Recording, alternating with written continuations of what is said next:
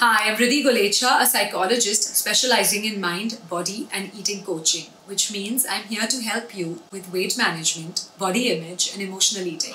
Because if all of us could follow diets, then all of us would have reached our goals.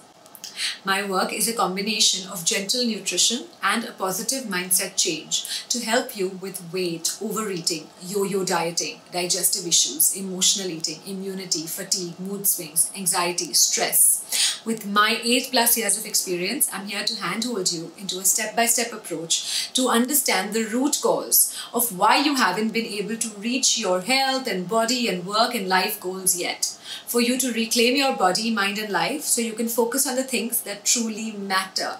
So you can stop wasting more precious years of your life on food and free up that energy to start living the life you were always meant to live.